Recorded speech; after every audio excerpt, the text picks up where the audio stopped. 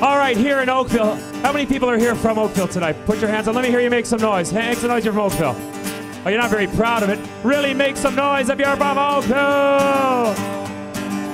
If there's one thing, if there's one thing I love about this city, this town, this town, is that this street is lay, lane, this absolutely jammed full of restaurants.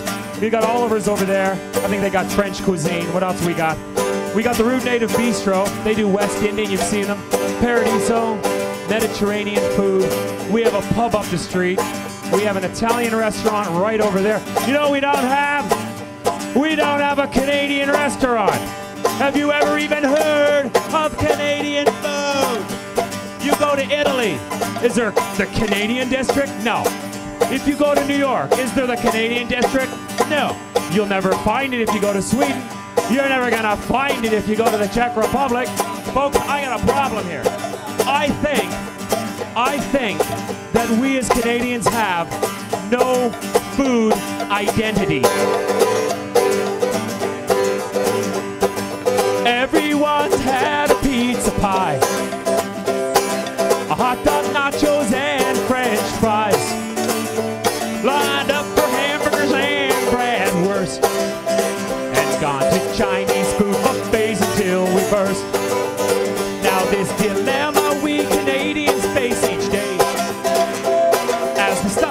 Ourselves, I'm afraid to say, it is nothing short of a catastrophe.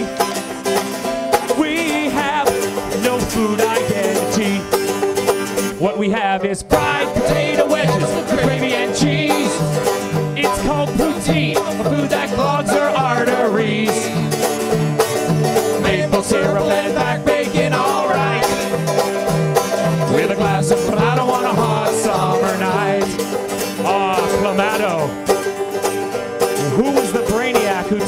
and tomato juice, put them together, and called it delicious?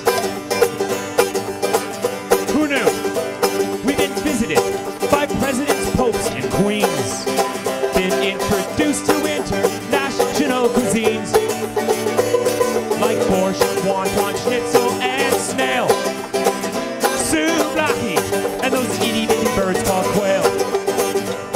Despite this invaluable that we got from every visiting nation, we've not quite managed a traditional menu. Well, aside from what we found in the potato, and we found fried potato wedges with gravy and cheese. It's a poutine, a food that clogs our arteries. Maple syrup and back bacon, alright. With a glass of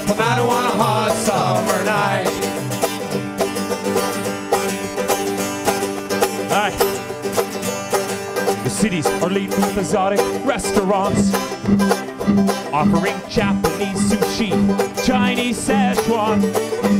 We got shawarmas at the Lebanese joint, but no authentic Canadian. That's my point.